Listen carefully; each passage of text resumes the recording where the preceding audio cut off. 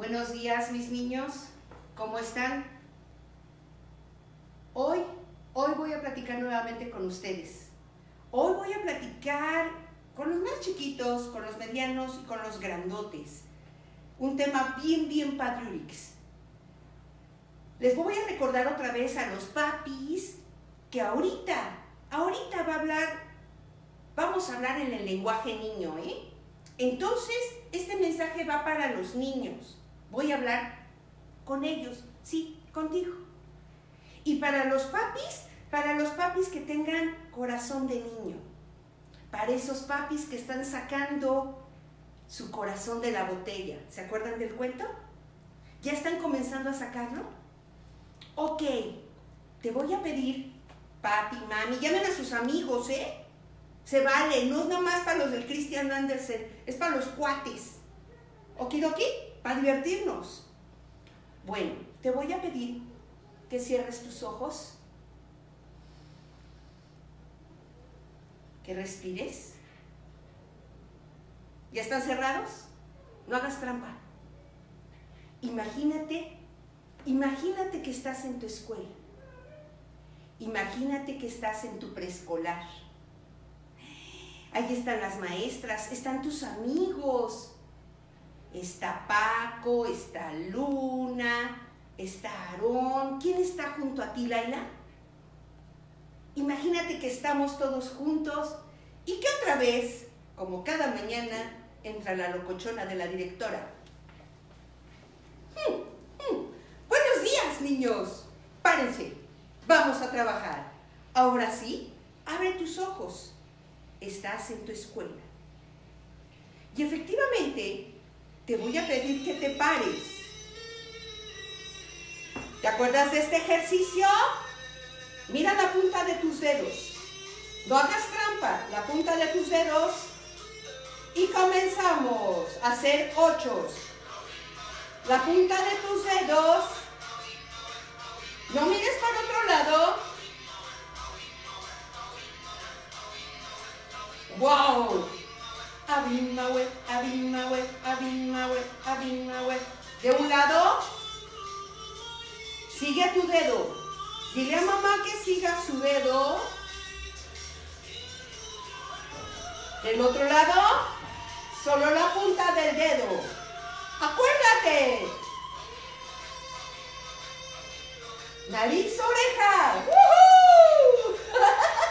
Si te distraes,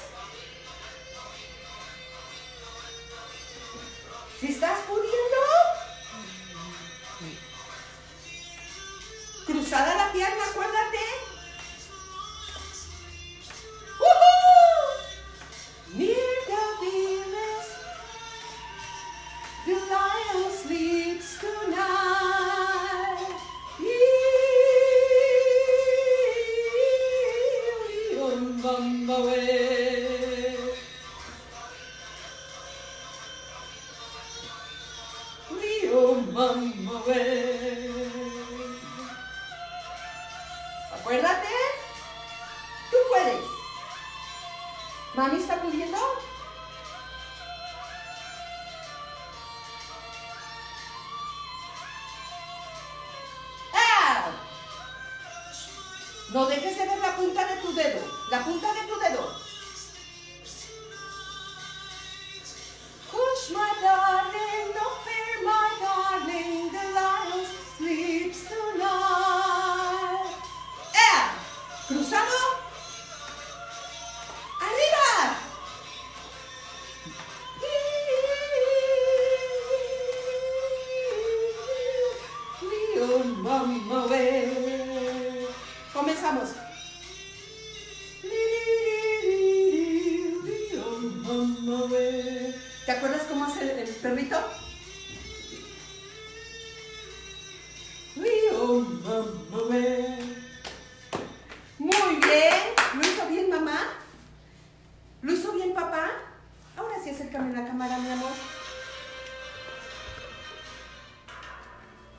Sí, es mi celular.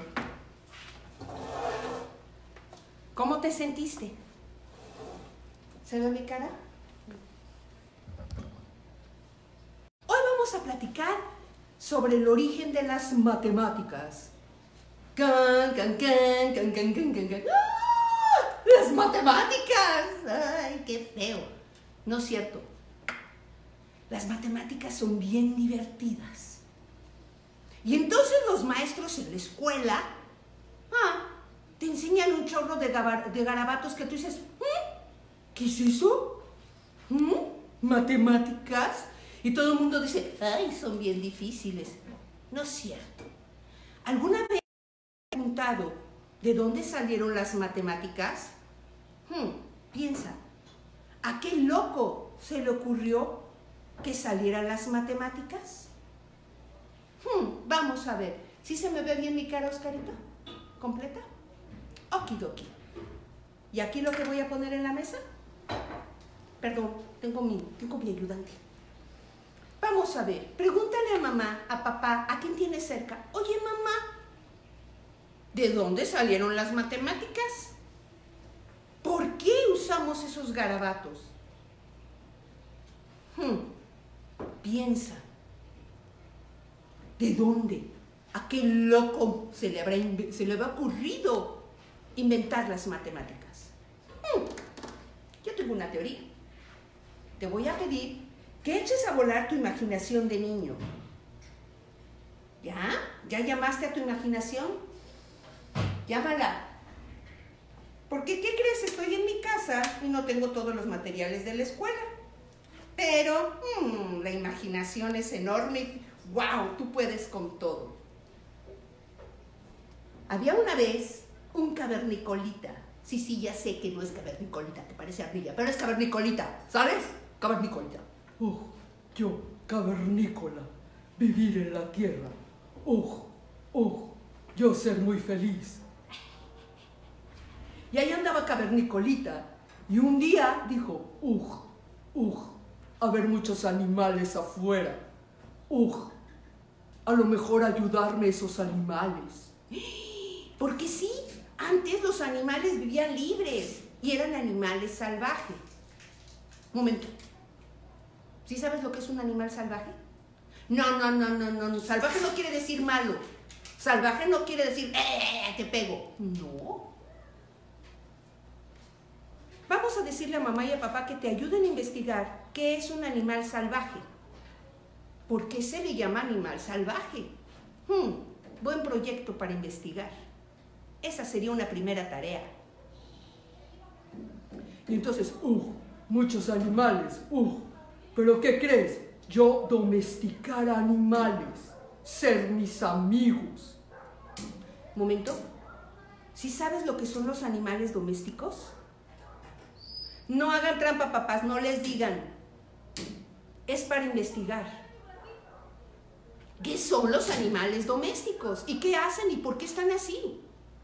Entonces, cavernicolita, acuérdate, Ugh, yo tener mis amigos. Ugh, borreguitos. Ugh, borreguitos ser mis animales domésticos. Y entonces el cavernícola era muy feliz con sus borreguitos. De, de.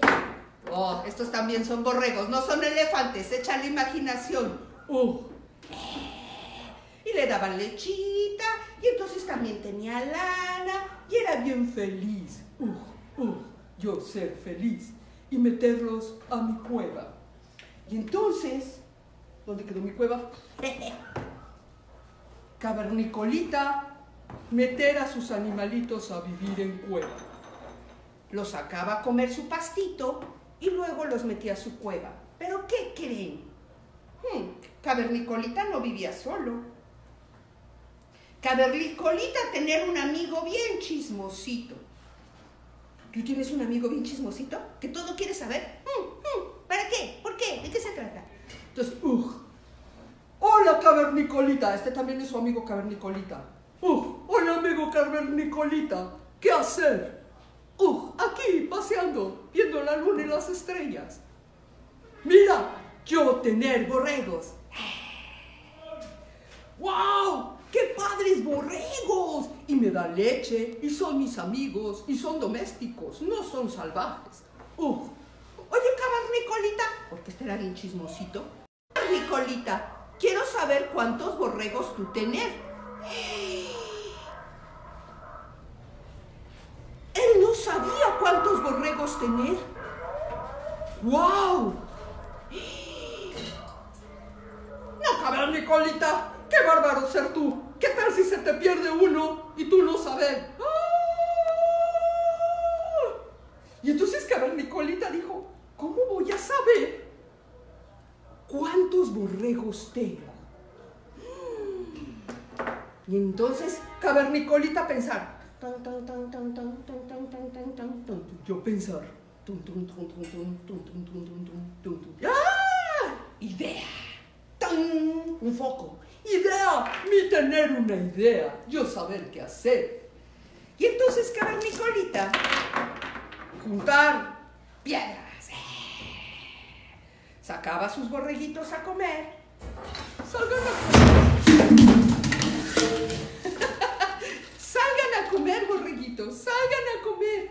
No pasa nada, se le cambió el garrafón del agua. salgan a comer, borreguitos, salgan a comer. Y lo sacó a comer. Ahora sí, borreguitos, cada vez que ustedes entran, yo poner borreguito, piedra. Y entonces ponía un borreguito y una piedra. Borreguito, piedra. Borreguito, piedra. Borreguito, piedra. ¡Ah! Más borreguito, más piedra. Y entonces, hola sí, borreguitos, métanse a su casa. Y se metían a dormir los borreguitos. Y entonces él había juntado estas piedras. Cada piedra representaba un borreguito. ¿Tú lo has hecho así? Fíjate que uno de los niños, ¿te acuerdas que les dejé una tarea de las estrellas? Uno de los niños me dijo, maestra, Miss, yo ya tengo una respuesta. Veía una estrella, ponía un frijol. Veía otra estrella, ponía otro frijol otra estrella, otro frijol. Y así. ¿Tú cómo resolviste ese problema? Y entonces, cuando él ya tenía los frijoles juntos, era el número de estrellas o las estrellas que había en el cielo. ¿Tú lo hiciste así? Bueno, resulta que, uh, uh, uh, cavernicolita bien feliz. Yo tener, yo tener, yo tener estos borreguitos. Eh, y entonces llegar el cavernicolita chismoso. Hola, cavernicolita, ¿qué haces? Ah, yo aquí, cuidando mis borreguitos que ya se quedaron a dormir. Y, y cavernicolita, por fin, ¿cuántos borregos tú tener? No ser payaso es hacer piedras. Pero es que yo tener estas, estos borregos. Ah, no ser payaso es hacer piedras. Sí, cierto. Sí, cierto. Y entonces el cavernicolita dijo, nah, tú no sabes cuántos borregos tienes. Nuestro amigo cavernicolita se quedó pensando, ¿cómo le hago? Ah, yo saber, idea. Porque imagínate que cada vez que él quería decir cuántos borregos tenía, tenía que cargar todas las piedras. No inventes. Entonces, como este era muy inteligente, así como muchos niños que conozco, ¿verdad que eres inteligente? Uh, sí, yo soy inteligente. Él es inteligente. Entonces, decir, idea. Y entonces, este cavernicolita inventó algo. ¿Qué habrá inventado? ¿Tú qué crees que habrá inventado? Veamos qué inventó.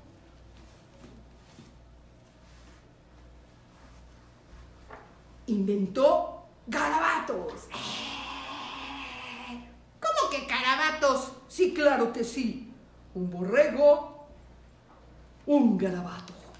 ¿Pero cuáles son esos garabatos? Borrego, garabato.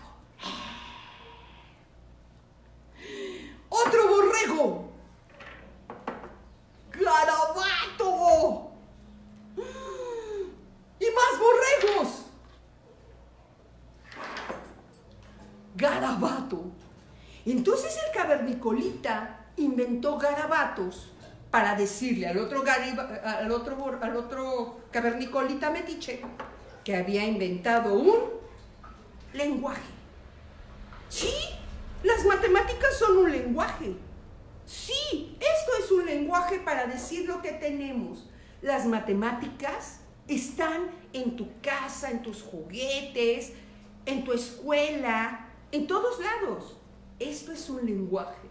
Y Cavernicolita haber inventado un lenguaje. ¿Cuántos garabatos? Adiós, Cavernicolita, ya descubriste un lenguaje. Diga adiós. ¿Cuántos garabatos crees que inventó Cavernicolita? Piensa. ¿Cuántos habrá inventado?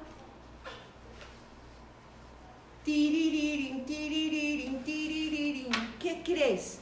Cavernicolita inventó 10 garabatos. ¿Por qué 10 garabatos? Pregúntale a tu mamá por qué 10 garabatos. ¿Por qué solo 10 garabatos?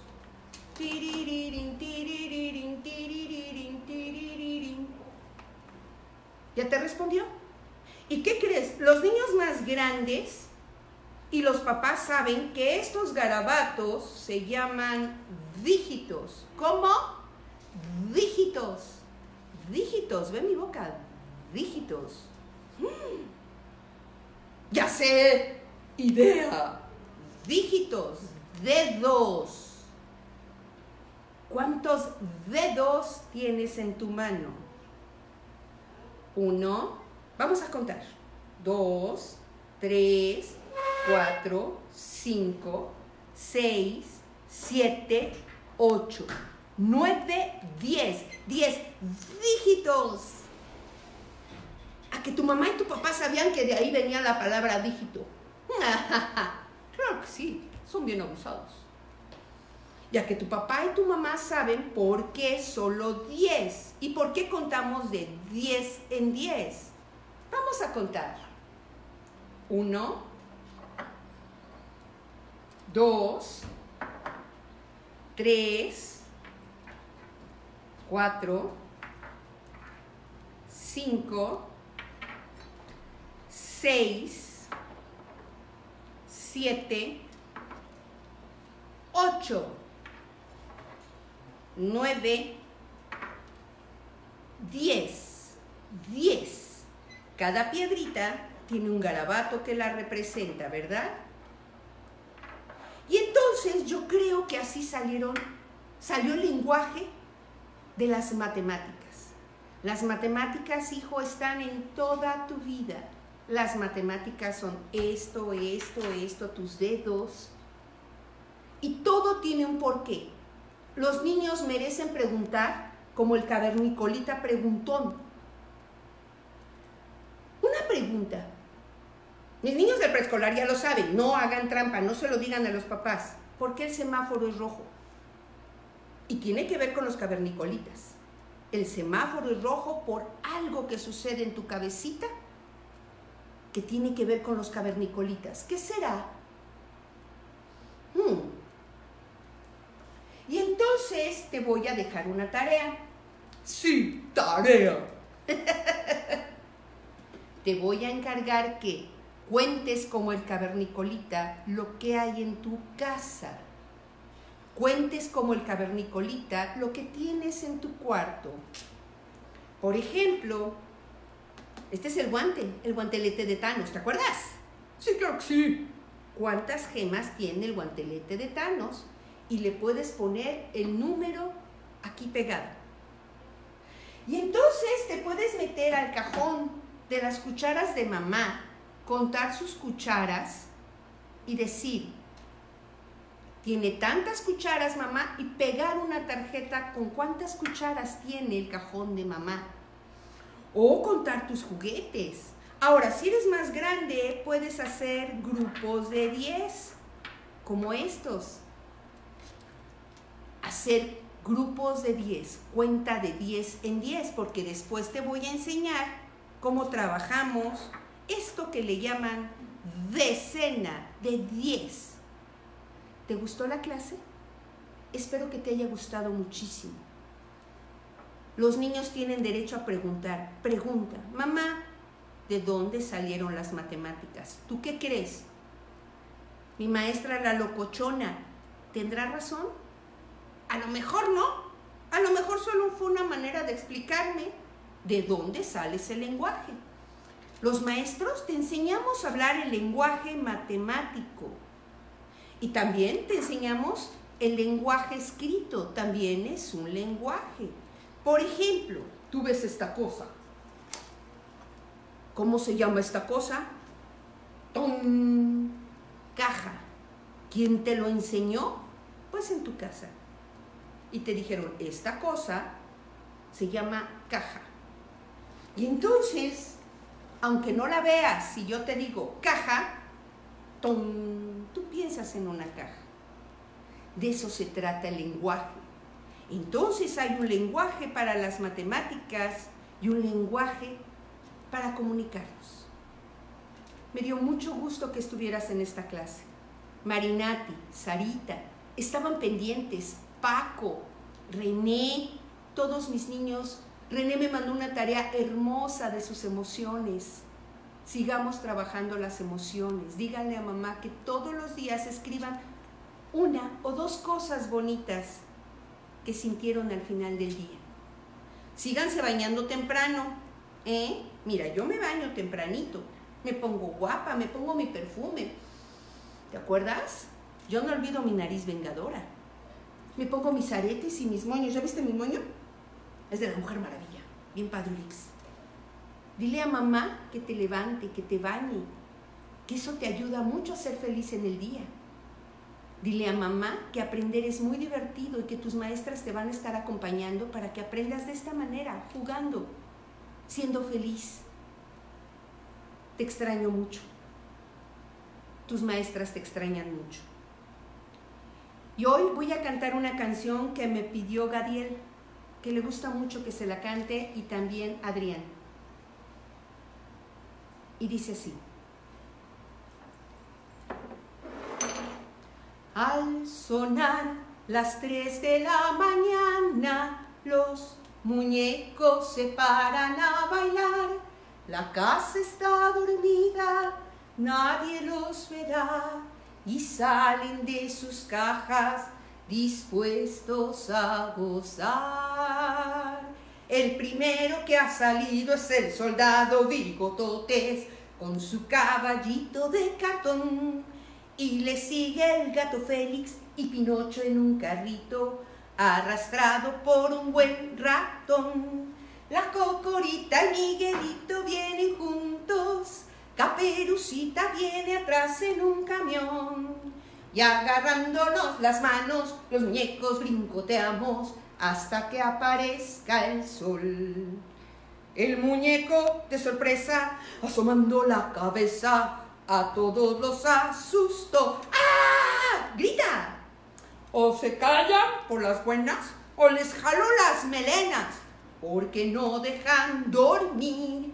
El gato Félix se acercó y dio un zarpazo.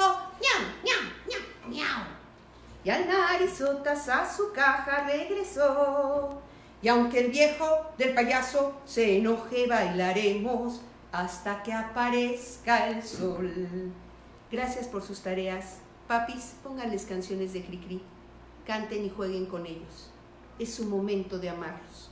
Las maestras lo que hacemos con este tipo de ejercicios es pedirles, llevarlos a que le dediquen tiempo a lo que más aman, porque es lo que más aman. Les mando un abrazote y espero sus tareas. Uno, que me enseñes cómo estás contando en tu casa que me enseñes cuánto, cuento, cuánto cuentas, que los niños grandes me enseñen cómo hacen grupos de 10 en 10. Pídele a papá y a mamá que te presten sus frijoles o sus semillas o lo que tengan a la mano, tus juguetes y que pongan números por todos lados. Cuenta tu casa, porque tu casa es matemáticas y la matemática es divertida. Y también te voy a pedir de tarea que me pongas todos los días dos cosas divertidas que hiciste en tu casa. Te amo, te voy a estar esperando en mi preescolar Christian Andersen.